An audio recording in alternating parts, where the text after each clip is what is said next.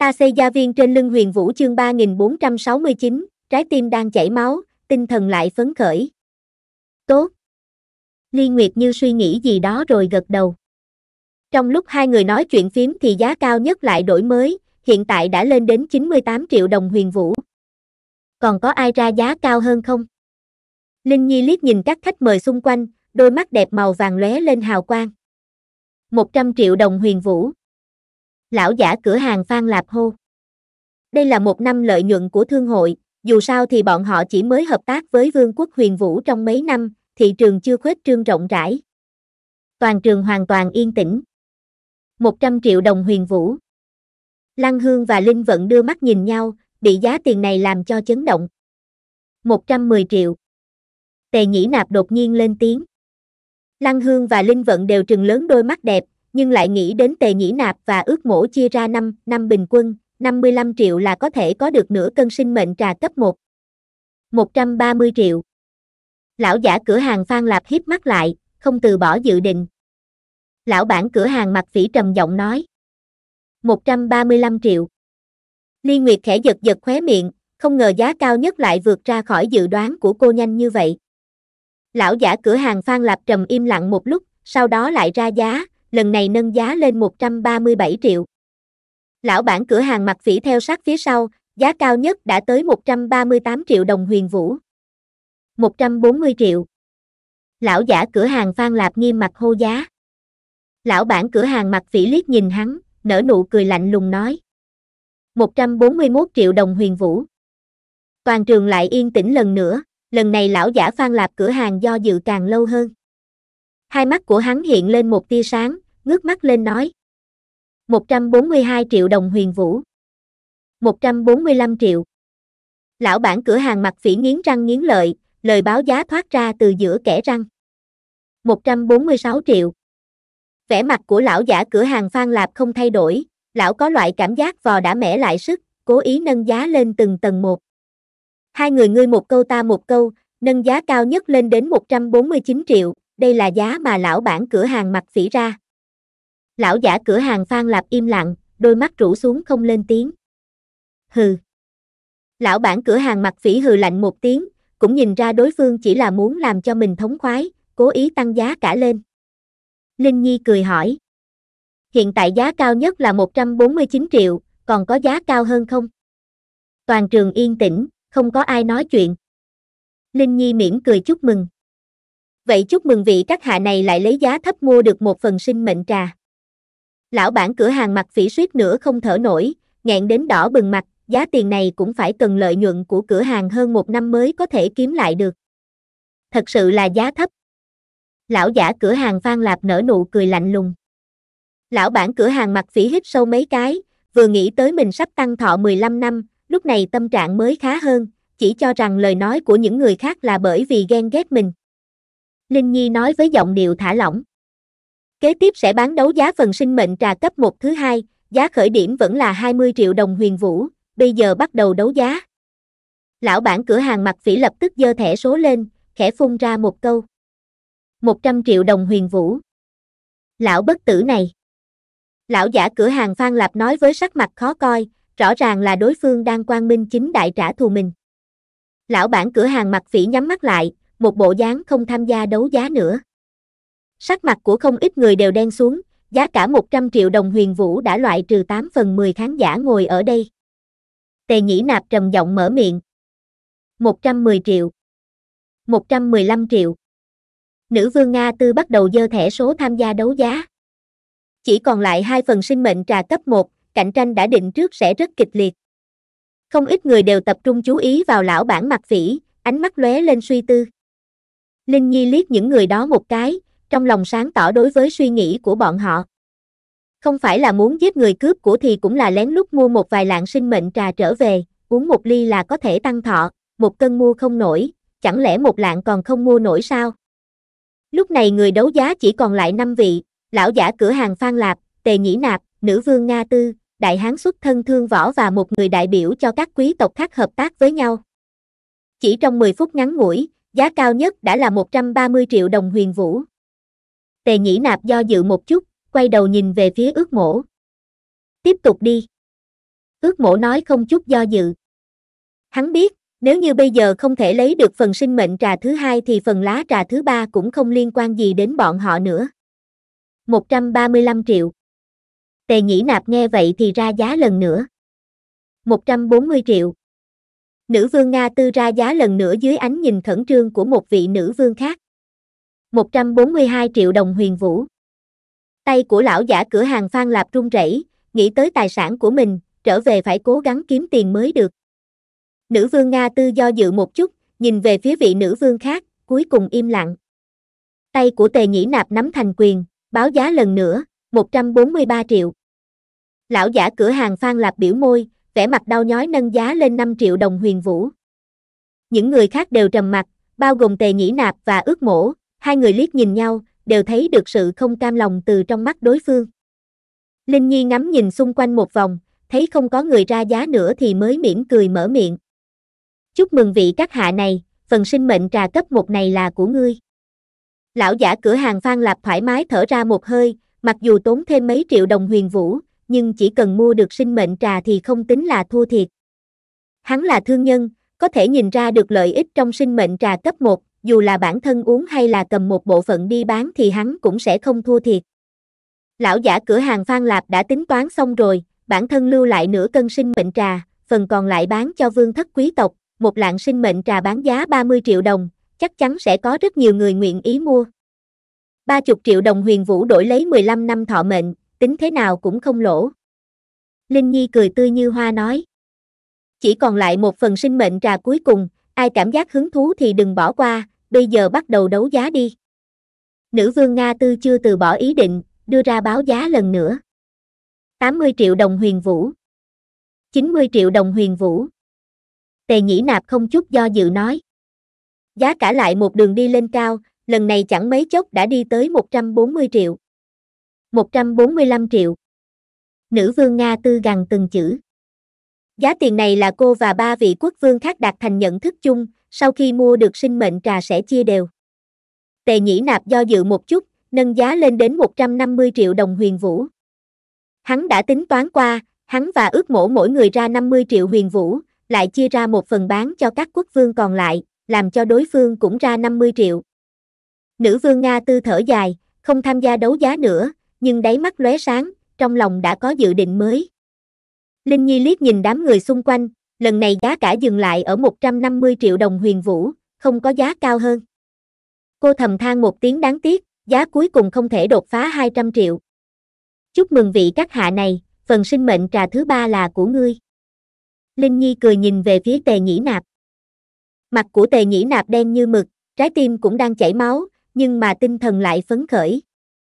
Những người khác dồn dập tiếc núi thở dài, trong lòng đều đang đánh lên chủ ý khác. Linh Nhi từ trên không trung trở xuống đài cao, nói một cách thanh thúy. Tiếp theo là vật phẩm đấu giá cuối cùng trong buổi đấu giá lần này, nước suối sinh mệnh mới nhất. Nữ vương Nga tư nhìn về phía Linh Nhi, nói. Ta nhớ hội đấu giá lần trước cũng có bán nước suối sinh mệnh, nó có thể làm cho người chết trong vòng 3 ngày phục sinh, đồng thời cộng thêm 20 năm thọ mệnh.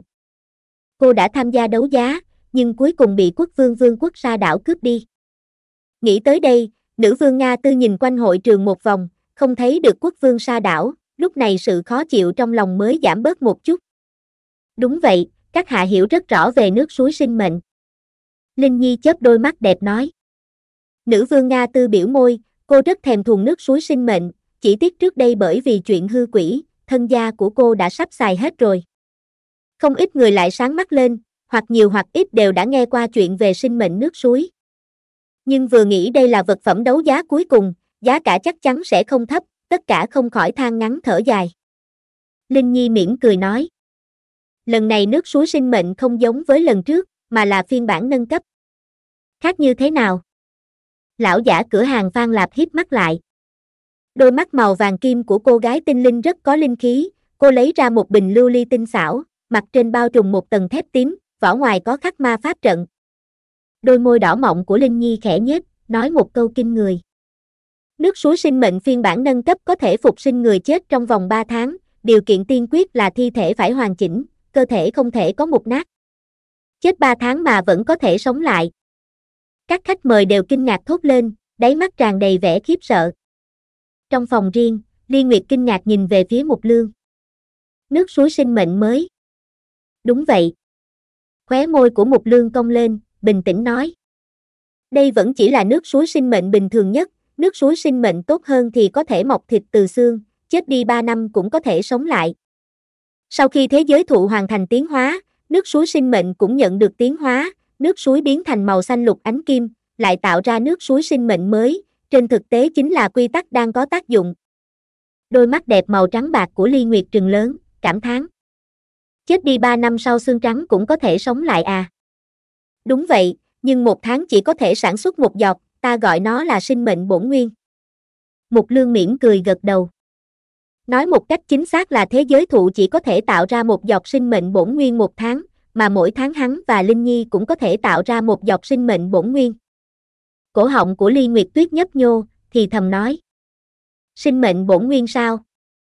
Ngươi có định cầm đi bán đấu giá không? Cô không khỏi hỏi. Mục lương vỗ vỗ tay của cô gái tóc trắng, dịu dàng nói. Sinh mệnh bổn nguyên rất trân quý, ta sẽ không xuất ra đi bán đấu giá, lưu cho bản thân và người của mình dùng thôi. Sinh mệnh bổn nguyên cực kỳ trân quý, một tháng chỉ có ba giọt, bản thân dùng đều ngại quá ít. Ừm, chuyện này không thể để cho người ngoài biết, sẽ làm cho một số người đỏ mắt, tạo thành phiền phức không cần thiết. Giọng điệu của Ly Nguyệt nghiêm túc nói. Yên tâm, trước mắt chỉ có ngươi và Linh Nhi biết. Mục Lương cười một tiếng. Vậy là tốt rồi. Ly Nguyệt chớp đôi mắt trắng bạc. Cô nghĩ tới cái gì đó, lại hỏi. Nước suối sinh mệnh mới này ngoại trừ có thể khiến người ta phục sinh thì còn có hiệu quả gì khác không? Nếu dùng có thể tăng thọ 600 năm, không có bất kỳ tác dụng phụ nào. Mục lương hời hợt nói. Nhưng một giọt đem ra bán đấu giá này đã được pha loãng, chỉ có thể tăng thọ 100 năm. 600 năm. Lông mi của Ly Nguyệt rung lên. Cô nhìn nhà đấu giá phía dưới, cảm thán. Dù đã pha loãng thì cũng vẫn khiến người ta tranh cướp. Quả nhiên, lời nói tiếp theo của Linh Nhi làm cho các khách mời hoàn toàn ngồi không yên. Khuôn mặt nhỏ nhắn của Linh Nhi lộ ra vẻ nghiêm túc, nói. Nước suối sinh mệnh ngoại trừ có thể làm cho người chết trong vòng một tháng sống lại ra thì còn có thể tăng thọ 50 năm, người sống dùng có thể tăng thọ 100 năm. Cộng thêm 100 năm thọ mệnh. Các khách mời hai mắt sáng rực, giống như sói đói khó nhịn, hạn mức cao nhất cộng thêm đến 100 năm, cái này mạnh hơn nhiều so với sinh mệnh trà, chớ nói chi là có thể phục sinh người chết. 100 năm, ta muốn. Lão bản cửa hàng mặt phỉ lớn tiếng hô. Ngươi tính là thứ gì, đó là của ta. Lão giả cửa hàng Phan Lạp đối chọi gay gắt. Linh Nhi đang nghe truyện trên TV Audio CV giơ tay lên ra hiệu, mặt mỉm cười nói. Các vị yên tĩnh, không phải chỉ cần nói là ai thì nó chính là của người đó, người trả giá cao thì được, hiểu chưa? Ngươi ra giá đi, bao nhiêu cũng được, bán cho ta. Lão giả cửa hàng Phan Lạp lạnh lùng nói. Ánh mắt của Linh Nhi lạnh xuống, lạnh nhạt nói. Đã như vậy, vậy 100 ức đồng huyền vũ. Đừng nói đùa với ta. Vẻ mặt của lão giả cửa hàng Phan Lạp cứng đờ. Cho dù bán toàn bộ cửa hàng Phan Lạp, lại lén lút rút đi một bộ phận tài phú của vương thất Phan Lạp thì hắn cũng không góp đủ 100 ức đồng huyền vũ. Không lấy ra được à? Linh Nhi khẽ hất hàm, mặt như phủ băng nói. Vậy cứ dựa theo quy tắc của buổi đấu giá, người trả giá cao thì được, còn có vấn đề gì không? Lão giả cửa hàng Phan Lạp lộ ra sắc mặt khó coi, căm tức nhìn Linh Nhi, đang muốn mở miệng thì một luồng uy áp kinh khủng rơi ở trên người lão, khiến hắn phải nuốt toàn bộ lời đến khóe miệng trở về. Không có, không thành vấn đề. Giọng điệu của hắn run rẩy. Lúc này trên mặt Linh Nhi lại xuất hiện nụ cười, hài lòng nói. Rất tốt, mời các vị ngồi trở lại vị trí của mình, buổi đấu giá sẽ nhanh chóng bắt đầu. Các khách mời đưa mắt nhìn nhau, đều tỉnh táo lại ngồi trở về chỗ ngồi của mình. Trong phòng riêng, bầu không khí nhẹ nhàng hơn nhiều so với trong sân đấu giá. Liên Nguyệt nhìn về phía Mục Lương, hỏi ra nghi vấn trong lòng.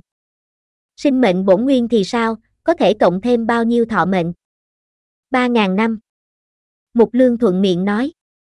Tay của Ly Nguyệt rung một cái, chậm rãi thở ra một hơi. Mục Lương nhìn về phía cô gái tóc trắng, ôn hòa nói.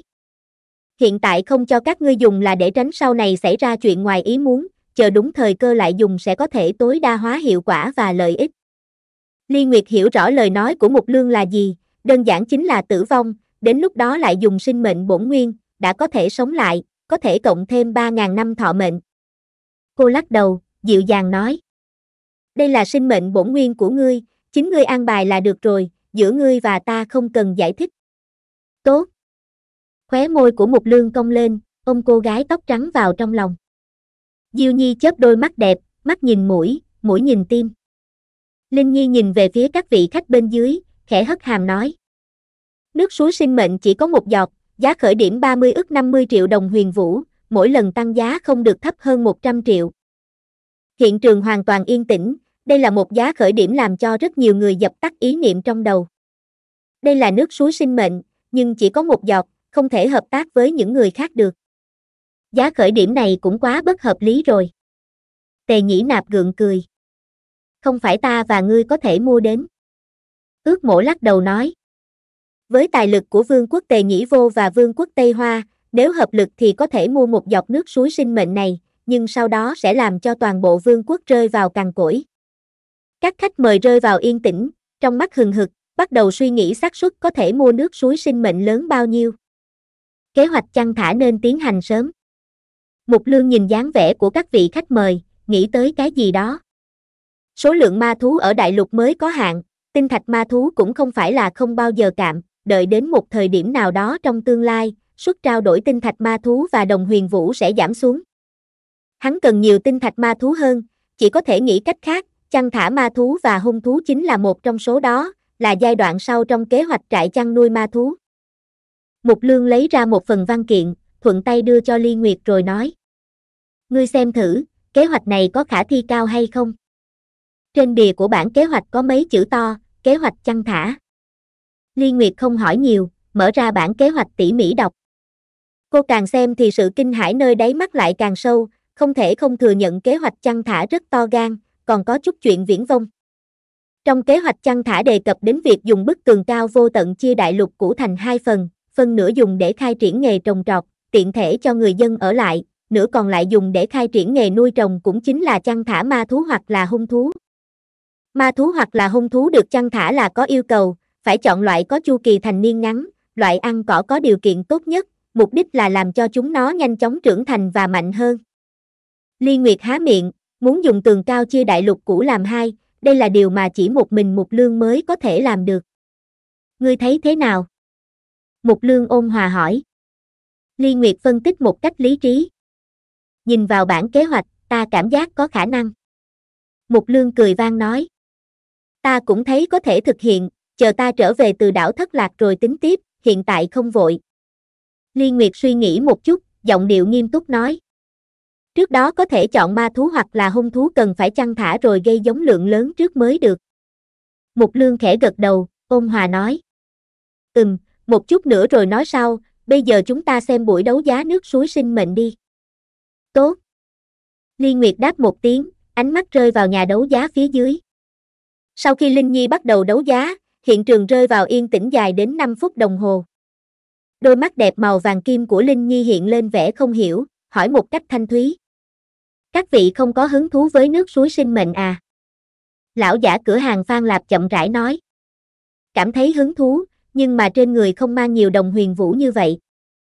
Phần lớn đồng huyền vũ mà hắn mang tới đã dùng để mua sinh mệnh trà, một phần còn lại là dùng để ký hợp đồng. Lần này các thương nhân tới Vương quốc huyền vũ đều không ngoại lệ là có tâm tư giao dịch, không phải chỉ là vì tham gia buổi đấu giá. Mỗi ngày Vương quốc huyền vũ đều bày bán hàng hóa mới ra thị trường, bọn họ phải nắm được tiên cơ, nhanh chóng ký hợp đồng đặt hàng lớn, từ đó kiếm lời. Lão bản cửa hàng mặt phỉ gật đầu nói. Đúng vậy, một khoản đồng huyền vũ lớn như vậy, không có mấy năm chuẩn bị thì không lấy ra được. Hắn nắm trong tay toàn bộ buôn bán của vương quốc, nhưng tiền tài có thể mang theo dùng cũng không nhiều, huống chi là giá khởi điểm cao như vậy. Đám người tề nhĩ nạp và ước mổ thành thật ngậm miệng, đối với sinh mệnh nước suối là nóng mắt không thôi, nhanh chóng lại có lòng mà không đủ lực. Đúng vậy, giá khởi điểm đã là 30 ức 50 triệu đồng huyền vũ rồi, bán ta cũng mua không được. Có người lên tiếng đáp lại. Ai? Các khách mời đều thở dài, có loại cảm giác bảo vật tuyệt thế ở trước mắt nhưng mà bản thân lại không thể làm gì. Linh Nhi khẽ nhíu mày, ngước mắt nhìn về phía phòng riêng, giống như có thể nhìn thấy một lương bên trong. Ly Nguyệt thấy vậy thì đề nghị. Nếu bọn họ đều không có tiền, vậy lưu lại lần bán đấu giá sau đi. Ừm, lưu lại lần sau đi. Ánh mắt của Mục Lương lóe lên. Hiện tại danh tiếng của bảo vật đã được đánh ra, hắn vốn dĩ không có ý định bán đi lúc này, cho nên sẽ không vì bán ra nước suối sinh mệnh mà giảm giá. Mục Lương ngước mắt lên, trong đầu hơi chuyển động suy nghĩ, sử dụng ý thức giao lưu truyền đạt quyết định cho cô gái tinh linh. Linh Nhi chớp đôi mắt đẹp màu vàng kim, cầm bình lưu ly trên sân khấu, khóe môi cong lên nói. Nếu không có ai ra giá thì buổi đấu giá hôm nay đến đây kết thúc. Xôn xao. Toàn trường náo động, mọi người mấy lần mở miệng muốn giữ lại, nhưng nghĩ đến trong túi không có tiền, cũng đều dẹp suy nghĩ. Linh Nhi thu hết tất cả những điều này vào trong mắt, ánh mắt lóe lên nói. Buổi đấu giá tiếp theo sẽ tổ chức vào nửa năm sau, mong là có thể gặp lại các vị lần nữa. Nửa năm à? Đám người tề nhĩ nạp như đang suy nghĩ cái gì, đây là nhắc nhở nửa năm sau bọn họ sẽ lại bán đấu giá nước suối sinh mệnh à. Linh Nhi nhìn quanh đám người một chút, giọng điệu nhẹ nhàng nói. Hội đấu giá đã kết thúc, nhắc nhở các vị một câu, khi còn ở trong vương quốc huyền vũ thì không được trái với hiến pháp, mặc kệ bất kỳ thân phận gì. Không ít người nghe vậy thì ánh mắt trở nên nặng nề, bọn họ đều nghe ra ý tứ trong lời nói của cô gái tinh linh, chính là không hy vọng bọn họ tiến hành hành động đen ăn đen ở trong vương quốc huyền vũ, nếu không thì cho dù là quốc vương cũng sẽ bị bỏ tù. Linh Nhi không đợi mọi người nói gì, cơ thể đã hóa thành một mảnh kim quang biến mất. Không ít người há hốc mồm nhìn một màn này, qua vài giây vẫn không thể khép miệng lại được. Lần này có không ít người tham gia buổi đấu giá, đã có 2 phần 3 người tay không mà về, vật phẩm bán ra đều rất quý hiếm, bọn họ không đoạt qua được những người giàu có hơn. Trong phòng riêng, Linh Nhi đột nhiên xuất hiện. Cha, ta biểu hiện như thế nào? Linh Nhi nhẹ nhàng đi lên trước, ngồi ở bên cạnh Mục Lương. Rất tốt, không làm cho ta thất vọng. Mục Lương cười một tiếng. Vậy là tốt rồi. Linh Nhi thân mật khoát tay của hắn. Cô lộ ra vẻ mặt tiếc nuối nói. Chỉ là không bán được nước suối sinh mệnh, kiếm ít rất nhiều. Tiền là không bao giờ đủ, từ từ sẽ đến thôi. Mục Lương nói không chút để ý. Bọn họ không thể lấy ra được 30 ức 50 triệu đồng huyền vũ ngay lập tức, trừ phi là mấy vương quốc hợp tác, cùng nhau mua nước suối sinh mệnh. Ly Nguyệt nhẹ nhàng nói. Nếu bọn họ hợp tác, mua được nước suối sinh mệnh sẽ thuộc về ai? Linh Nhi chớp đôi mắt đẹp hỏi. Ly Nguyệt lắc đầu, Thanh Thúy nói. Vấn đề này rất khó giải quyết, cho nên bọn họ không có khả năng hợp tác với nhau. Linh Nhi chậm rãi gật đầu, quay đầu lại hỏi. Cha, có phải cha biết bọn họ mua không nổi hay không? Mục Lương hơi nhướng mày, hỏi ngược lại. Làm sao ngươi biết? Linh Nhi nói ra suy đoán của mình. Sinh mệnh trà cấp 1 cũng đã làm cho rất nhiều người không mua nổi rồi, khi cha định giá thì cũng đã điều tra qua của cải của những vương quốc và cửa hàng này rồi. Mục Lương gật đầu nói. Đúng là ta đã điều tra qua, nhưng không loại trừ bọn họ còn che giấu tài phú, cho nên ta mới muốn dùng nước suối sinh mệnh để dò xét, nếu có thể bán ra thì coi như chúng ta kiếm lời, bằng không thì coi như là hàng trưng bày. Liên Nguyệt dịu dàng nói. Sự thật chứng minh, 30 ức đối với bất kỳ một vương quốc nào mà nói, trong thời gian ngắn đều không lấy ra được. Mục Lương mỉm cười từ chối cho ý kiến, vương tay nhẹ nhàng nắm lấy tay của cô gái tóc trắng. Hắn ôn hòa nói. Trở về đi, nhớ phái người theo dõi bọn họ, không được sinh sự ở trong vương quốc. Nhóm Ni Cát Sa và Ngải Lị Na đã an bài xong xuôi. Liên Nguyệt trả lời một câu. Mục Lương không hy vọng đám người vương thất quý tộc và phú thương kia xảy ra chuyện ở vương quốc huyền vũ, như vậy sẽ ảnh hưởng đến danh tiếng của buổi đấu giá. Nếu như sau này lại tổ chức buổi đấu giá thì bọn họ sẽ lo lắng bị giết người cướp của, không dám tới tham gia thì làm sao bây giờ? Mục Lương quay đầu nói. Từng khi cần thiết có thể cung cấp phục vụ xuất cảnh bí mật cho bọn họ, nhưng phải thu phí dụng. Có lẽ chúng ta có thể để bọn họ làm mồi nhữ, dẫn dắt người của bất hủ chúng xuất hiện. Ánh mắt của Ly Nguyệt lóe lên. Ngươi an bài là được. Mục Lương cười khẽ, gật đầu. Sinh mệnh trà cấp một quả thật rất có sức hấp dẫn đối với tổ chức như bất hủ chúng, vì vậy có khả năng cao bọn họ sẽ ra tay với các khách mời. Trong chính sảnh cung điện, đám người Mục Lương và Ly Nguyệt vừa mới trở về, thấy Hồ Tiên, Nguyệt Thấm Lan, Mễ Nặc ngồi cùng một chỗ, trong tay cầm len sợi đang đang dệt áo lông. Đang bận rộn gì vậy? Mục Lương ôn hòa hỏi. Không có chuyện gì làm, chỉ là học đan áo lông với tiểu nặc thôi. Hồ Tiên quyến rũ nói. Mục Lương hơi nhướng mày, kinh ngạc hỏi. Đang cho ai? Hồ Tiên giơ lên áo len mới dệt được bốn hàng, cười hỏi. Ngươi cảm thấy thế nào? Mục Lương nhìn lướt qua, có thể thấy được đó là vạt áo lông, chỉ rộng hơn một bàn tay người trưởng thành, hiển nhiên không phải là dành cho người lớn. Cho đứa trẻ còn chưa sinh ra. Hắn hỏi. Đúng vậy. Hồ Tiên cười quyến rũ một tiếng. Cô chớp chớp đôi mắt màu đỏ rực, khóe môi cong lên treo gẹo nói. Ngươi cũng muốn à? Mục Lương đi lên trước, dịu dàng nói. Ta không muốn ngươi quá mệt mỏi, việc này để cho mấy người tiểu tử đi làm là được rồi. Hồ Tiên lắc đầu, Thanh Thúy nói. Trời lạnh, dù sao cũng không có chuyện làm, áo lông mình đang có cảm giác thành công. Hai ngày này không đi thành buôn bán Sơn Hải, Tố Cẩm đang phụ trách chuyện làm ăn, cô chỉ là ngẫu nhiên đi qua, sau này số lần đi còn có thể giảm bớt. Đúng vậy. Nguyệt Thấm Lan ưu nhã gật đầu. Hồ Tiên quyến rũ nói. Ta tự đăng hai kiện, cộng thêm những quần áo mà tiểu nặc chuẩn bị trước đó đã đủ cho đứa bé mặc khi còn nhỏ. Cũng tốt, coi như là giết thời gian. Mục Lương cười gật đầu. Nguyệt Thấm Lan quan tâm hỏi. Bán đấu giá như thế nào, vẫn thuận lợi chứ, cái gì cũng đấu giá ra rồi à? Linh Nhi Thanh Thúy nói. Coi như thuận lợi, nhưng nước suối sinh mệnh thì lưu lại cho lần đấu giá sau. Trên mặt Nguyệt Thấm Lan lộ ra thần sắc quả nhiên là thế, gật đầu nói. Cũng bình thường thôi, 30 ức 50 triệu đồng huyền vũ, trong khoảng thời gian ngắn bọn họ không lấy ra được. Trước đây khi cô nghe thấy định giá nước suối sinh mệnh của cũng hoài nghi một lương cố ý không muốn bán ra, dù sao thì giá cả kia dưới cái nhìn của cô cũng là quá cao. Không vội, sau này sẽ có người mua được. Mục lương nói không chút để ý. Hồ Tiên chậm rãi nói. Chuyện này là đương nhiên rồi, dạo gần đây số lượng đơn hàng lớn càng ngày càng nhiều, bọn họ có thể kiếm được không ít tiền. Ừ. Mục lương lên tiếng, ngồi xuống ghế salon. Cha, ta đi thay quần áo khác. Linh Nhi bỏ lại một câu rồi bước chân nhẹ nhàng đi về phía thiên điện. Cô cũng có phòng riêng ở cung điện, không phải trở về trong thế giới thụ nghỉ ngơi giống như trước đây. Mục Lương nhìn về phía Nguyệt Thấm Lan, dịu dàng nói.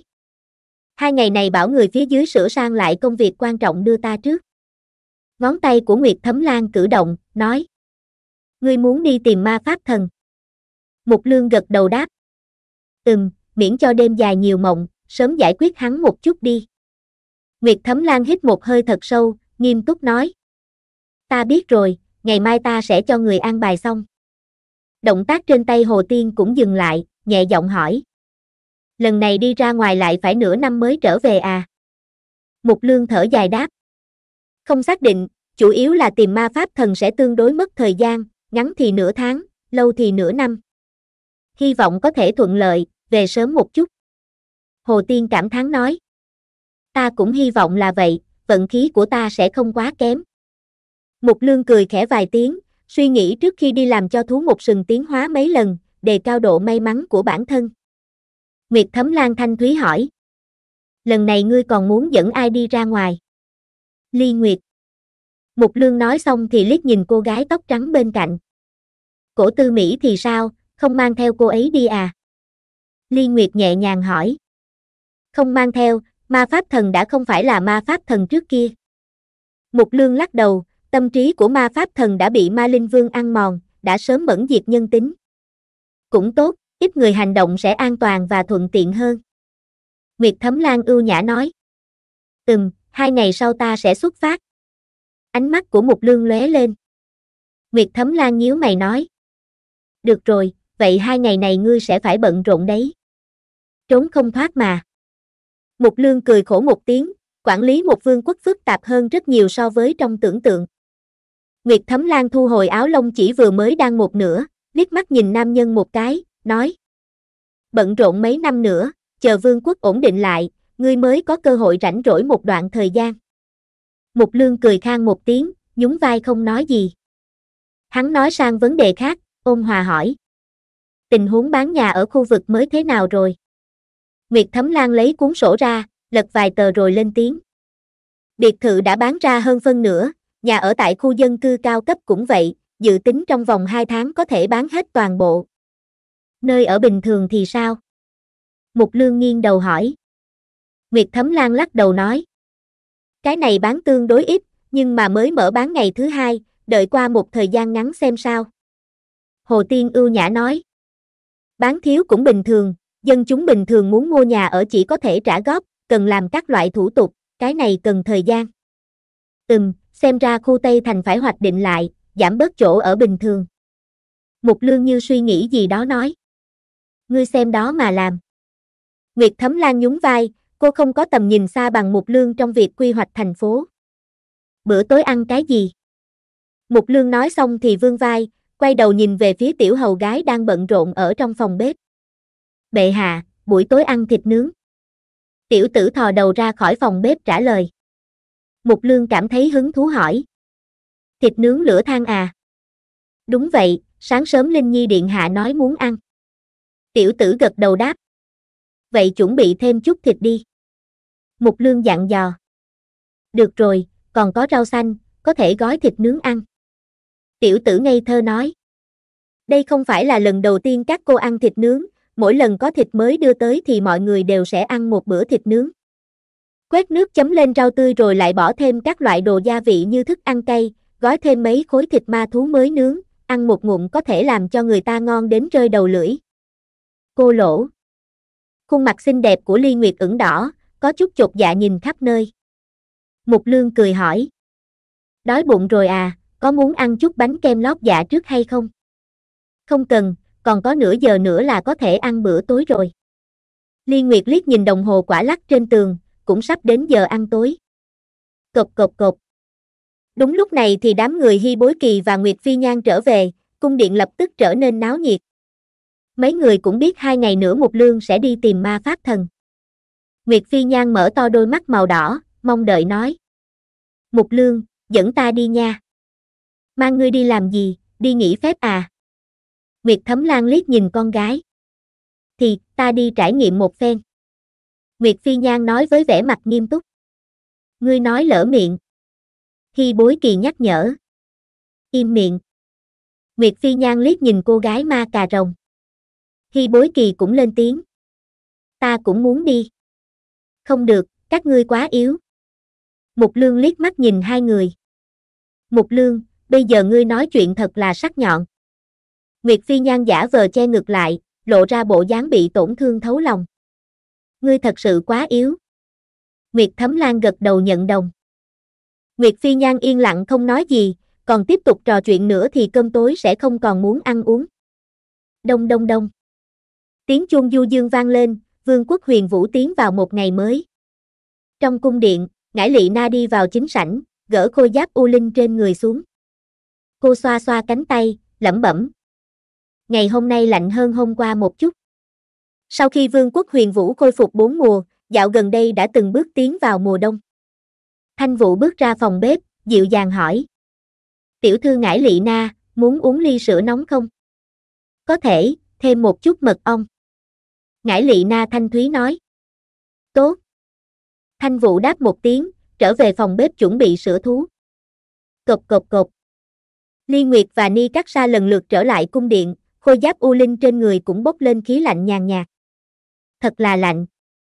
Ni Cắt Sa thấp giọng nói. Mục Lương đi ra khỏi thư phòng, nhìn mấy người đang xoa xoa tay trông có vẻ rất lạnh, hắn bèn vung tay lên, thả ra một luồng khí nóng. Ông! Chẳng mấy chốc, bên trong cung điện trở nên ấm áp hơn. Thật là thoải mái. Ngải lị na thở vào một hơi. Mục lương ôn hòa nói. Hôm nay giảm vài độ, phải đưa cho người phía dưới một nhóm quần áo giữ ấm. Liên Nguyệt nhẹ nhàng đáp. Đã an bài xong xuôi, tối nay sẽ đưa đến trên tay bọn họ. Mục Lương gật đầu nói. Ừm, ta sẽ để Linh Nhi thay đổi quy tắc của khu vực trung ương một chút, để khí hậu ở đây vẫn tốt như trước. Cha, đổi xong rồi. Tiếng kêu giòn giả vang lên, Linh Nhi nhẹ nhàng bước ra khỏi thiên điện, hiển nhiên đã nghe thấy lời nói của Mục Lương. Cô vừa dứt lời, khu vực trung ương vô hình trung xảy ra biến hóa, khí lạnh dần dần tán đi, nhiệt độ vẫn duy trì ở khoảng 25 độ. Tốt. Mục Lương cười một tiếng, xoa xoa đầu cô gái tinh linh. Hắn vừa nhìn về phía ngải lị na và ni Cát sa, hỏi. Hai ngày này không xảy ra chuyện giết người cướp của gì chứ? Ngải Lị Nang nói với giọng điệu nghiêm túc. Có, nhưng mà đã giải quyết rồi, những người còn lại đều lựa chọn dùng tiền, đi theo một con đường đặc biệt rời khỏi vương quốc. Hội đấu giá kết thúc hai ngày, người mua được sinh mệnh trà đều lựa chọn rời đi, mượn cửa không gian truyền tống trở về vương quốc của mình. Có phát hiện gì về đám người bất hủ chúng không? Mục Lương ngồi xuống. Ni Cát Sa lắc đầu, Thanh Thúy đáp. Tạm thời vẫn chưa có, chỉ sợ bọn họ còn không biết chuyện về sinh mệnh trà. Chuyện này không có khả năng. Mục Lương nhàn nhạt lên tiếng. Ni Cát ra như suy nghĩ gì đó nói. Đó chính là bọn họ càng cẩn thận hơn, hẳn là khoảng thời gian vừa rồi không có cơ hội ra tay. Mục Lương suy nghĩ một chút, bình thản nói.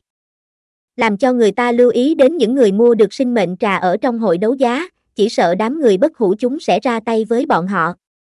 Sự thảo phạt của hắn đối với bất hủ chúng sẽ không kết thúc, cho đến khi bất hủ chúng hoàn toàn diệt vong mới thôi. Vâng. Ngải Lị Na đáp một tiếng. Mục Lương nhìn về phía Ly Nguyệt, ôn hòa nói. Đi thu dọn đồ đạc đi, ăn xong cơm trưa rồi rời đi. Hai ngày này hắn bận rộn rất nhiều việc, giải quyết tất cả những chuyện quan trọng trong vương quốc, ngày hôm nay mới có thể dựa theo kế hoạch xuất phát đi tìm ma pháp thần. Hôm nay phải đi tìm ma pháp thần à? Đôi mắt đẹp của Ni Cát Sa chớp chớp. Ừm, đi sớm về sớm. Mục Lương vuốt cầm nói. Phải thừa dịp ma pháp thần dưỡng bệnh để lấy mạng của hắn, như vậy mới có thể tiết kiệm rất nhiều tinh lực. Ni Cát Sa vươn tay nắm chặt, nghiêm túc nói. Vậy các ngươi phải chú ý an toàn, mau chóng vặn đầu của ma pháp thần xuống. Ừm. Mục Lương cười một tiếng. Hồ Tiên ôm bụng từ trong thiên điện đi ra, quyến rũ nói. Hy vọng lần này các ngươi có thể nhanh chóng trở về, đừng bỏ lỡ thời điểm đứa bé sinh ra. Mục Lương quay đầu nhìn về phía cô gái đuôi hồ ly, bụng của cô ngày càng lớn, lại có mấy tháng là có thể sinh sản. Giọng điệu của hắn dịu dàng nói. Không đâu, chuyện quan trọng như vậy, ta nhất định sẽ nhanh chóng trở về. Cái này còn tạm được. Hồ Tiên hài lòng nói. Mục Lương nắm tay cô gái đuôi hồ ly tay, dặn dò. Lúc ta không có mặt nhớ chăm sóc bản thân cho tốt, có việc gì thì hãy nói với Linh Nhi. Lần này cô gái tinh linh sẽ ở lại vương quốc huyền vũ, đề phòng có cường địch tấn công. Mục Lương cũng lo lắng ma pháp thần núp trong bóng tối, chờ sau khi hắn rời đi thì sẽ phát động tấn công vương quốc huyền vũ, đây không phải là việc không có khả năng. Ta biết rồi. Hồ Tiên cười quyến rũ gật đầu. Ừ, thấm lan đâu? Mục Lương ôn hòa hỏi. Vương hậu nương nương đi cục quản lý rồi ạ. À? Vân Hân giải thích. Được rồi. Mục Lương gật đầu một cái. Ly Nguyệt đi thiên điện, thu dọn đồ đạc muốn mang theo ra ngoài, chủ yếu là quần áo tắm rửa và dược vật. Lúc bắt đầu bữa sáng thì Nguyệt Thấm Lan mới về đến cung điện, trong lòng ôm lấy một chồng văn kiện thật dày. Mục Lương thấy thế nói. Đồ vật có thể đặt ở trong ma cụ không gian chứa đựng, hoặc là điều một hầu gái hàng ngày theo bên mình. Ta biết rồi. Nguyệt Thấm Lan chớp chớp đôi mắt màu xanh nước biển, ngồi xuống bên cạnh Mục Lương rồi đưa văn kiện trong tay cho nam nhân. Mục Lương sửng sốt một chút, hỏi. Cho ta à? Đương nhiên, đây là tin tức cụ thể của ngân hàng các nơi trên đại lục mới. Nguyệt Thấm Lan ưu nhã nói. Lần này ngươi ra ngoài giải quyết chuyện của ma pháp thần, nếu xong rồi còn có thời gian thì thuận tiện đi một chuyến, xem tình huống kinh doanh của ngân hàng. Ngân hàng có tác dụng vô cùng quan trọng đối với sự phát triển của vương quốc huyền vũ, nhất định phải coi trọng mới được. Ta biết rồi. Khóe mắt của Mục lương giật một cái, đi ra ngoài cũng không có thời gian rảnh rỗi. Nguyệt Thấm Lan tiếp tục nói. Còn có mấy phần tư liệu là địa điểm xây dựng trại chăn nuôi mới, lúc rảnh rỗi ngươi xem một chút, nhân tiện đi thực địa khảo sát. Cũng tốt. Mục Lương đáp một tiếng. Trại chăn nuôi rất quan trọng, nó được chuẩn bị cho kế hoạch chăn thả ở đại lục cũ. Việc chuẩn bị trước của kế hoạch chăn thả đã bắt đầu, một phân thân đang ở đại lục cũ tiến hành phân chia khu vực L. Đồng thời, nhóm nhánh cây trà thụ sinh mệnh từ thế giới thụ cũng đang giải phóng lĩnh vực sinh mệnh, làm cho mặt đất để chăn thả mọc ra thảm thực vật nhiều hơn, cải thiện thổ nhưỡng, chất lượng nước và không khí. Nếu nhìn từ trên trời cao bao quát toàn bộ đại lục cũ là có thể nhìn thấy khu vực trung tâm có thần văn phổ chi pháp tắc lóng lánh, một dãy sơn mạch đột ngột mọc lên từ mặt đất. Đây là dùng để phân cách khu chăn thả và khu trồng trọt, độ dày của tường cao vượt qua ngàn mét, độ cao là 3.000 mét, thân tường cứng rắn như đá. Dựa theo kế hoạch, một phân thân một lương cần thời gian nửa năm để chia đại lục cũ thành hai bằng biện pháp này. Trên bức tường cao này, lá của trà thụ sinh mệnh đang chập chờn trong gió, lĩnh vực sinh mệnh khuếch tán ra. Theo thời gian trôi qua, bầu trời tại khu vực trà thụ sinh mệnh dần dần khôi phục màu xanh thẳm. Vì làm cho đại lục cũ mau sớm khôi phục sinh cơ, tinh long ngư cấp 11 cũng bị một phân thân mục lương mang đi, đi khôi phục tài nguyên đại lục cũ. Trong vùng trồng trọt đã có vài đoạn sông nhỏ xuất hiện, thỉnh thoảng còn có mấy trận mưa rào tinh lọc, đây đều là do tinh long ngư làm. Bản thể của Mục Lương không đi đến đại lục cũ, tất cả đều giao cho một phân thân quản lý, hắn rất yên tâm. Sau khi kết thúc bữa sáng, hắn lại bận rộn một hồi, mãi đến khi ăn xong cơm trưa mới có thể xuất phát. Ngoài cung điện, đám người mễ nặc đều tới. Mục Lương phất tay nói. Ta sẽ cố gắng nhanh chóng trở về, vương quốc huyền vũ giao cho các ngươi chiếu cố. Được rồi, ngươi chú ý an toàn. Mễ nặc ngây thơ nói. Ừm, chờ ta trở về. Mục lương đáp, ông lấy eo của cô gái tóc trắng. Về sớm một chút. Hồ Tiên và Nguyệt Thấm Lan cùng nhau lên tiếng dặn dò. Được. Mục lương đáp một tiếng, mang theo cô gái tóc trắng biến mất tại chỗ. Trên biển khơi, hai bóng người phá không đi tới. Liên Nguyệt là bị Mục Lương mang theo phi hành. Nàng quay đầu hỏi. Mục Lương, chúng ta nên đi đâu tìm ma pháp thần đây? Mục Lương ôn hòa nói. Đi thiên quốc trước, có lẽ ma pháp thần còn trốn ở đó, chỉ là chúng ta không phát hiện. Hắn dự định đi thiên quốc tìm manh mối, phàm là trải qua tất nhiên sẽ lưu lại dấu vết, cũng có thể nhanh chóng tìm được ma pháp thần. Tốt. Liên Nguyệt đáp một tiếng. Mục Lương quay đầu dịu dàng nói. Nếu mệt thì nói với ta, chúng ta có thể tìm một nơi nghỉ ngơi. Được rồi, bây giờ còn ổn, ta cũng không ra lực. Ly Nguyệt mềm nhẹ nói. Nàng hoàn toàn bị Mục Lương mang theo phi hành, cơ thể thả lỏng, có thể nói là không tốn sức chút nào. Tốt. Mục Lương cười một tiếng, ông lấy eo của cô gái tóc trắng, thi triển năng lực không gian lóe lên biến mất tại chỗ. Hai người một đường đi về phía thiên quốc, đi ngang qua từng vương quốc, ngẫu nhiên tìm được phong cảnh địa phương tốt thì sẽ dừng lại một chút. Nghỉ ngơi một chút đi. Mục lương mang theo cô gái tóc trắng rơi xuống đất, xung quanh là một mảnh thảo nguyên, cách đó không xa có khu rừng rậm rạp. Ăn một chút gì đi. Ly Nguyệt dịu dàng mở miệng. Ăn thịt nướng không? Mục lương ngước mắt hỏi. Ly Nguyệt gật đầu đáp. Được, để ta làm. Nàng lấy than củi ra bắt đầu nhóm lửa, sau đó lấy giá nướng thịt, thuần thục lấy ra chén đũa và các loại đồ gia vị bắt đầu ướp thịt. Mục lương ngắm nhìn xung quanh một vòng, thả tinh thần lực ra ngoài, câu thông với thực vật xung quanh, tìm kiếm ma thú và linh thú có thể tồn tại. Hả? Ánh mắt của hắn lóe lên, trong lưới tinh thần xuất hiện dị dạng, thực vật truyền tin tức về phía hắn. Ly Nguyệt nghi ngờ hỏi. Có chuyện gì vậy? Có phát hiện, ta đi xem thử, ngươi ở đây chờ ta trở về. Mục Lương quay đầu dặn dò. Ly Nguyệt đáp một tiếng. Tốt. Nàng không lo lắng vấn đề an toàn của Mục Lương, thực lực của hắn bây giờ là đỉnh kim tự tháp của đại lục. Mục Lương đứng dậy đi về phía khu rừng, ngay sau đó cơ thể biến mất tại chỗ, khi xuất hiện lại đã ở chỗ sâu trong rừng rậm. Hắn đi bộ không có tiếng động, giống như là mèo rừng, chậm rãi đi về phía khu vực khác thường. Trước đó xuất hiện một cây cổ thụ nghiêng, phía dưới tàn cây có một đóa hoa lớn màu vàng kim, hình dạng hoa là ngôi sao năm cánh. Đóa hoa to cỡ nửa cái đầu người, phiến lá màu xanh lục, hình dạng giống như sao biển. Vù vù vù. Gió nhẹ thổi qua, hoa lớn màu vàng kim đung đưa.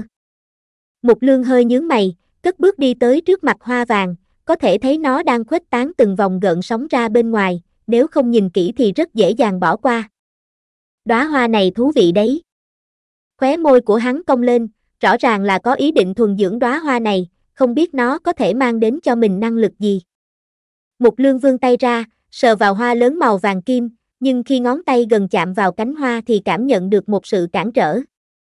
Ánh mắt của hắn lộ ra vẻ kinh ngạc, nhưng ngón tay vẫn chạm vào bông hoa màu vàng ống, một chút trở lực kia với hắn mà nói chẳng là gì cả. Ken. Kiểm tra đo lường được sinh mệnh có thể thuần dưỡng, có thuần dưỡng hay không? Lời nhắc nhở quen thuộc của hệ thống vang lên trong đầu Mục Lương. Thuần dưỡng. Mục Lương đáp lại trong đầu. Ken. Ngũ tinh hoa cấp 5 đang được thuần dưỡng. Ken. Tiêu hao 10 điểm thuần dưỡng, thuần dưỡng thành công. Ken. Có muốn kế thừa thiên phú tuyệt đối bích lũy hay không? Hệ thống lại vang lên lời nhắc nhở lần nữa. Mục Lương cẩn thận cân nhắc về tên năng lực mới, trong đầu vẫn trả lời. Kế thừa. Lời nhắc nhở của hệ thống lập tức vang lên. Ken. Tuyệt đối bích lũy đang thay đổi. Đang điều chỉnh. Hoàn tất truyền thừa. Vẻ mặt của Mục Lương không thay đổi, hắn cảm nhận được trong cơ thể xuất hiện một dòng nước ấm nhỏ không thể thấy bằng mắt thường, loại cảm giác này trôi qua rồi biến mất ngay lập tức. Hắn cảm thấy kinh ngạc, một gốc cây lục thực nhỏ như vậy lại đã cấp 5, ngoại trừ màu sắc đặc biệt ra thì chỉ làm cho người ta cho rằng nó là một cây hoa nhỏ bình thường.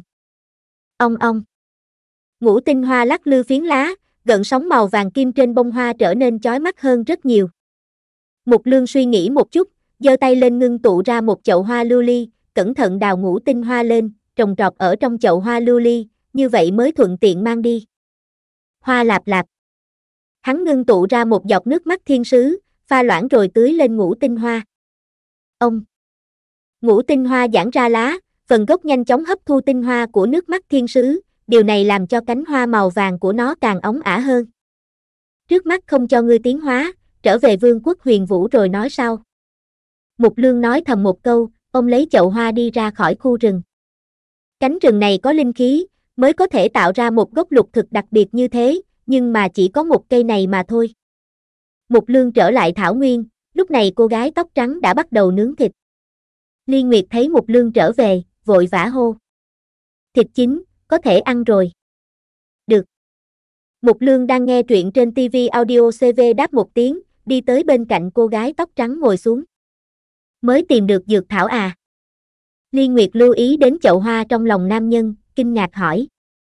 Không phải, đây là ngũ tinh hoa, vừa mới nhặt được trong cánh rừng đằng kia, hiện tại là sủng thực của ta. Hả, vậy nó có năng lực gì? Ly Nguyệt hiểu được, ánh mắt mang theo vẻ tò mò.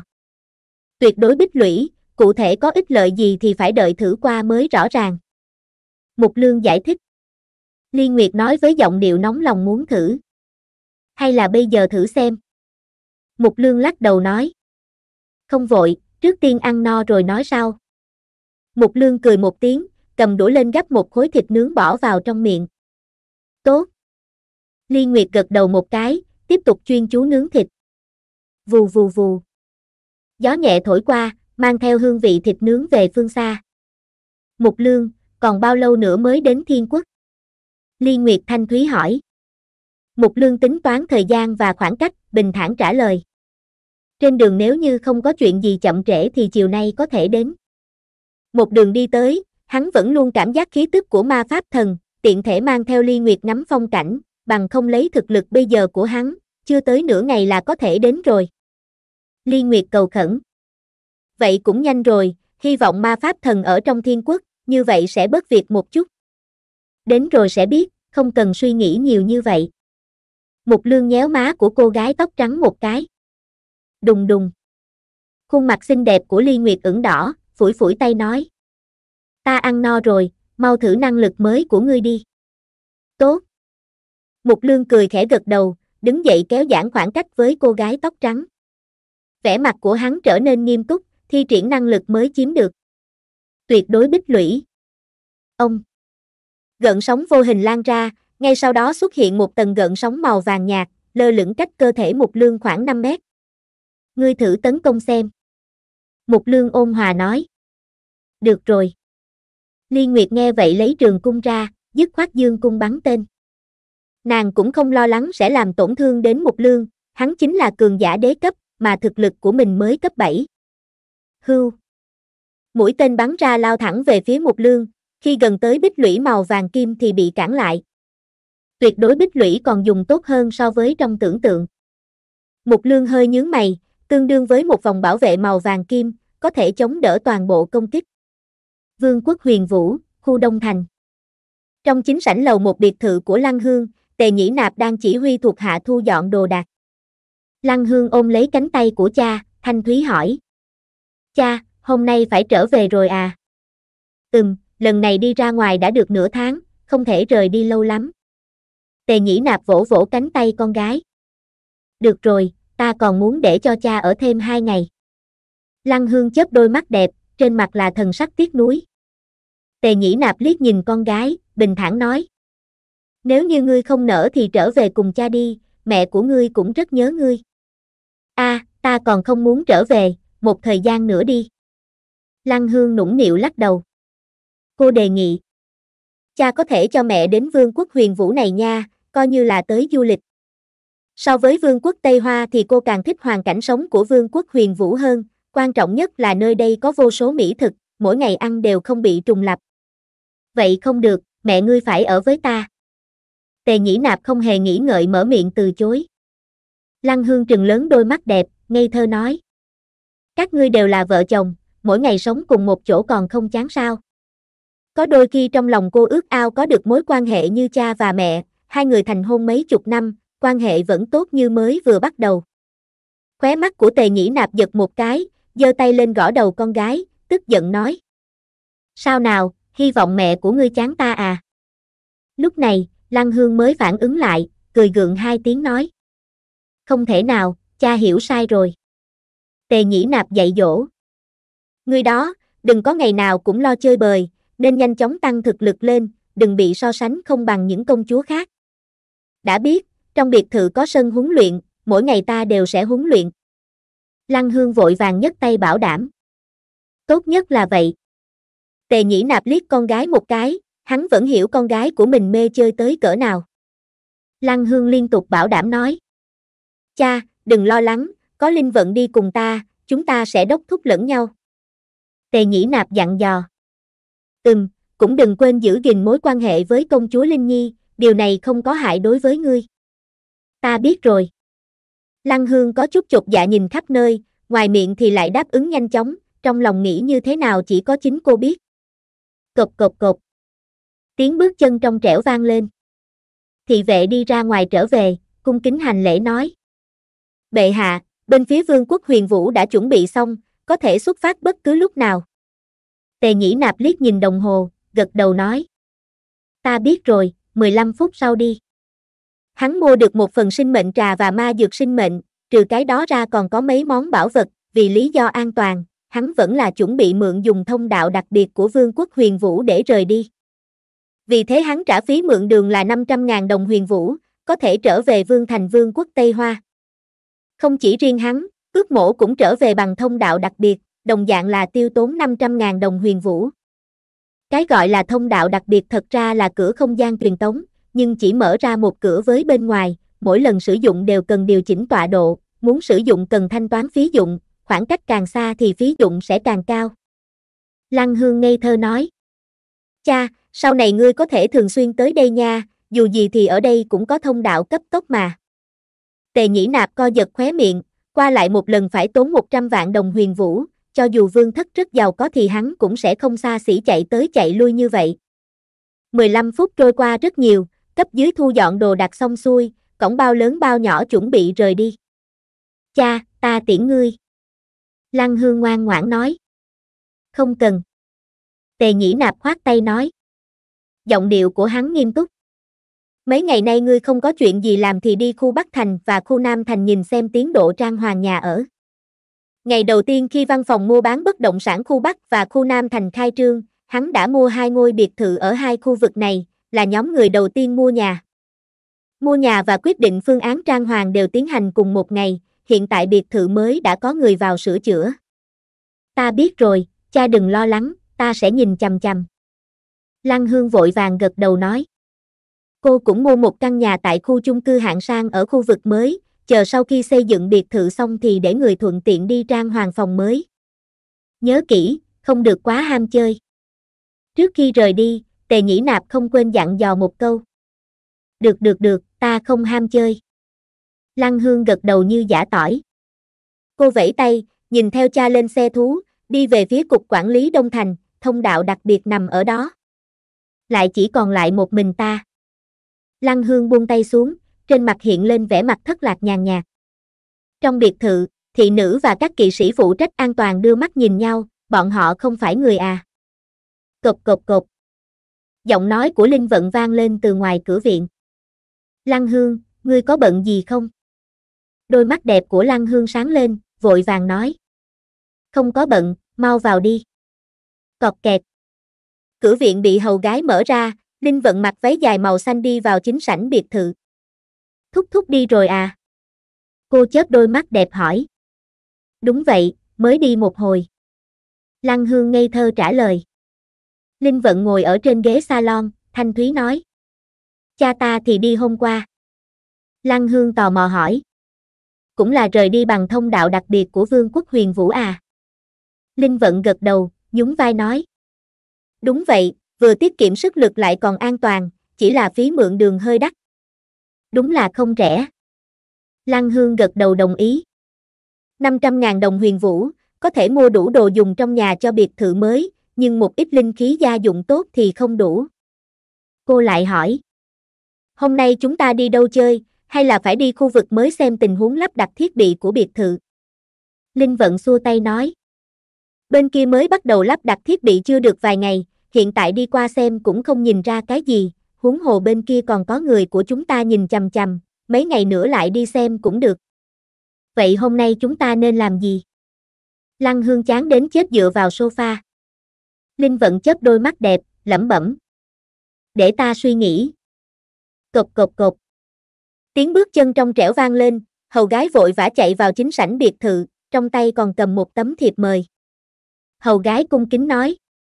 Hai vị điện hạ, vừa rồi có người đưa thiếp mời tới, nói muốn mời hai vị điện hạ đi khu vực trung ương uống trà chiều. A, mời chúng ta đi khu vực trung ương uống trà à? Linh Vận sửng sốt một chút, quay đầu liếc mắt nhìn bạn thân. Khu vực trung ương, là khu vực trung ương ở chủ thành sao? Đôi mắt đẹp của Lăng Hương chớp chớp. Cô nhận lấy thiệp mời, sau đó mở ra nhìn kỹ nội dung bên trong. Linh Vận ghé đầu lại, nhìn xong nội dung trên thiệp mời thì im lặng một hồi. Yết hầu của Lăng Hương nhấp nhô, nhìn về phía bạn thân hỏi. Công chúa Linh Nhi mời chúng ta đến uống trà chiều, đi không? Linh Vận hỏi một cách không xác định. Cô ấy đã gửi lời mời rồi, chúng ta không đi có phải không tốt lắm hay không? Vậy thì đi. Trong giọng nói của Lan Hương cũng mang theo tia không xác định. Vậy đi thôi, ta đi đổi quần áo mới. Linh Vận nghe vậy đứng lên, cũng không quay đầu lại mà đi về phía biệt thự sát vách, chẳng mấy chốc đã biến thành chạy chậm. Trên đường chính dẫn đến khu Đông Thành, một chiếc xe hơi đang chạy với tốc độ đều đặn. Lái xe là hầu gái, Lăng Hương và Linh Vận đều ngồi ở phía sau, hai người đều thay váy mới. Linh Vận bó lại đầu vai áo choàng, quay đầu hỏi. Ngươi nói xem, Linh Nhi bảo chúng ta đi uống trà chiều có phải là còn có chuyện khác hay không? Ta không biết. Lăng Hương nhún vai. Sao ngươi không có chút lo lắng nào thế? Linh Vận cau mày hỏi. Lăng Hương chớp chớp mắt đáp. Có gì mà lo lắng chứ, nơi này là địa bàn của người ta, có lẽ thật sự chỉ là uống trà chiều mà thôi. Linh Vận trợn trắng mắt, nghiêm túc nói. Sao có thể như vậy được, quan hệ giữa chúng ta và nàng ấy còn chưa tốt đến mức cùng nhau dùng trà chiều nha. Ngươi nghĩ nhiều rồi, có lẽ nàng ấy chỉ đơn thuần là muốn kết giao bạn bè. Đôi mắt đẹp của Lăng Hương chớp chớp. Điều này làm cho nàng nghĩ tới Lan Đế, đã thật lâu không gặp người bạn tốt này, không biết đối phương có ở khu vực trung ương hay không. Linh vận cạn lời vài giây, cảm thấy bất đắc dĩ đối với tâm thái tốt thái quá của bạn thân. Lăng Hương vỗ vỗ tay bạn tốt, trấn an. Thả lỏng tinh thần nào, tới đó sẽ biết, hiện tại suy nghĩ nhiều như vậy chỉ là tự tìm phiền não mà thôi. Cũng chỉ có thể như vậy. Linh vận thở dài một tiếng, ngước mắt nhìn ngoài cửa sổ xe, khoảng cách đến khu vực trung ương chủ thành càng ngày càng gần. Lăng Hương nhìn thế giới thụ khổng lồ trên bầu trời, dáng vẻ vàng lóng lánh cũng không quá chói mắt. Hơn 10 phút sau, xe hơi dừng ở trước cửa chính khu vực trung ương chủ thành. Linh Vận và Lăng Hương lần lượt xuống xe, hầu gái lái xe hơi vào chỗ đậu xe cách đó không xa. Cộp cộp cộp. Hai người đứng song song, đạp đôi giày cao gót tuyệt đẹp về phía cửa chính khu vực trung ương. Hộ vệ trung ương đang canh gác thấy hai người đi tới chỉ gật đầu ra hiệu một cái, cũng không ngăn cản hai người tiến vào, hiển nhiên có người chào hỏi trước. Lăng Hương khẽ hất hàm, lấy ra thiếp mời nói. Chúng ta được công chúa điện hạ các ngươi mời đến, đến đây tham gia trà chiều. Hai vị điện hạ cưỡi thang vận chuyển lên tầng 8 là được. A Thanh ôn hòa nói. Lăng Hương và Linh Vận nghe vậy không dừng lại, biết là có người chào hỏi qua, vì vậy cưỡi thang vận chuyển đến tầng 8. Các nàng đều đã tới khu vực trung ương, biết được một số tình huống ở đây, tầng 8 chính là nơi ở của quốc vương. Ông Chẳng mấy chốc thì thang vận chuyển đã dừng ở khu vực trung ương tầng 8, hai người vừa mới bước ra ngoài thì thấy một thiếu nữ đứng đợi sẵn.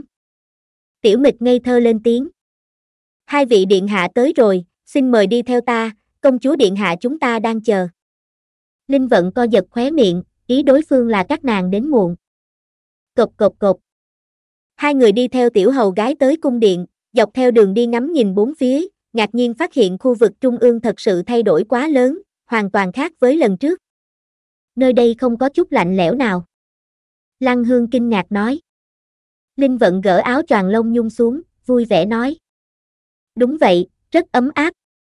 Sau khi hai người đi vào khu vực trung ương thì cảm nhận được nhiệt độ trở nên thoải mái, đồng thời có thể cảm nhận được không khí tươi mát, cùng với từng tia nguyên tố sinh mệnh thẩm thấu vào trong da. Trong mắt hai người lóe ra ánh sáng hưng phấn, nếu có thể ở lại khu vực trung ương, kéo dài tuổi thọ hoàn toàn không thành vấn đề. Cộc cộc cộc. Ba người đi vào chính sảnh cung điện, nhìn thấy cô gái đuôi hồ ly ngồi ở trên ghế salon đang đan áo lông. Hồ Tiên ngước mắt nhìn lại, quyến rũ nói. Hai vị tới rồi. Xin chào Hồ Tiên nương nương. Linh Vận và Lăng Hương vội vàng lên tiếng hỏi thăm. Hồ Tiên cười quyến rũ một tiếng, ưu nhã nói. Đến thiên điện đi, Linh Nhi đang đợi ở đó. Tốt. Tiểu mịch ngoan ngoãn gật đầu. Nàng quay đầu giơ tay ra hiệu nói. Xin mời hai vị đi theo ta. Linh Vận gật đầu, cười bẽn lẽn với cô gái đuôi hồ ly, ánh mắt rơi vào trên bụng của đối phương, tia ngạc nhiên chợt lóe lên trong đáy mắt. Đi mau. Lăng Hương khẽ kéo cánh tay bạn tốt, làm cho nàng phục hồi tinh thần lại, sau đó vội vàng theo tiểu hầu gái về phía thiên điện.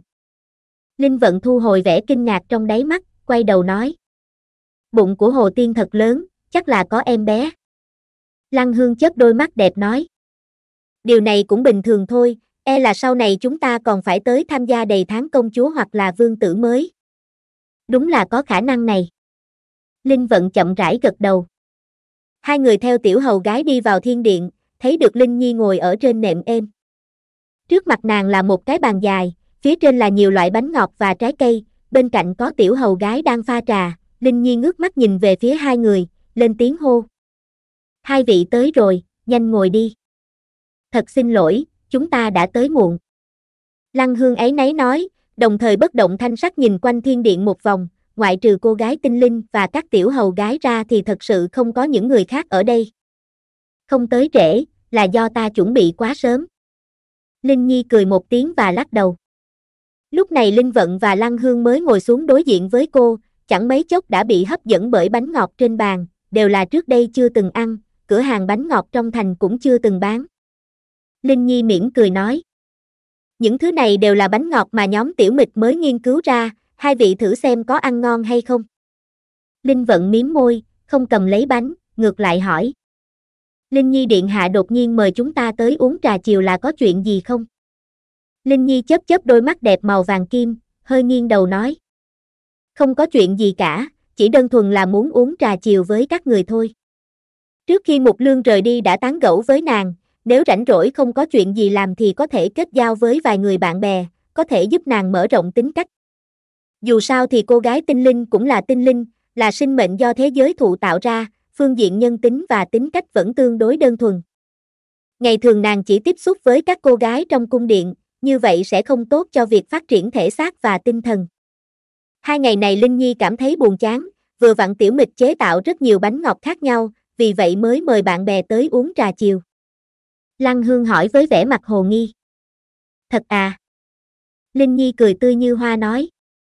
Đúng nha, sau khi uống xong trà chiều, các người có chuyện gì thì có thể trở về trước. Khóe mắt của tiểu mịch giật một cái, sao trà chiều còn chưa bắt đầu mà điện hạ đã bắt đầu nhắc tới vấn đề rời đi rồi. Nàng không khỏi thầm thở dài một tiếng, quả nhiên công chúa điện hạ vẫn chưa hiểu đạo lý đối nhân xử thế, còn phải chậm rãi học mới được. May mà Lăng Hương và Linh Vận không suy nghĩ nhiều, nghe xong lời của cô gái tinh linh thì trong lòng đều thở phào, sự chú ý rơi vào trên bàn đầy bánh ngọt, nhưng chẳng mấy chốc đã nhanh chóng bị hấp dẫn bởi sinh mệnh trà bốc hơi nóng. Linh Nhi thanh thúy nói.